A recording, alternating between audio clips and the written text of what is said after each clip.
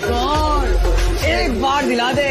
चमका मेरिया में चम चम करके चमका।